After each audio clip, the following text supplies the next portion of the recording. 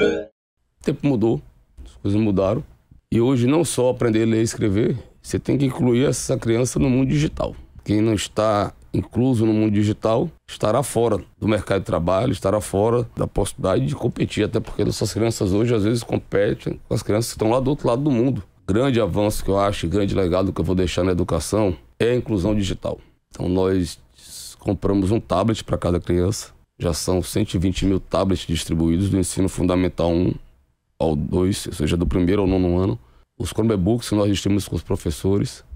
Estamos colocando Wi-Fi gratuito, rápido, em todos os prédios públicos, nas escolas, ao dó, inclusive para atender a comunidade do entorno. Temos ambiente virtual de aprendizagem. Eu inaugurei uma escola Elisa Taíde em Cajazeira 5 e eu vou falar da qualidade das escolas que nós estamos construindo. Cheguei lá, estava o professor com o Chromebook na mesa, um pacote de dados e as crianças com o tablet na mão. A minha sensação é que eu estava numa escola de primeiro mundo, não de uma escola de um estado do Nordeste brasileiro, ainda de um país subdesenvolvido. Já entreguei 18 novas escolas e às vezes eu falo às pessoas, ah, é exagero o que você está falando.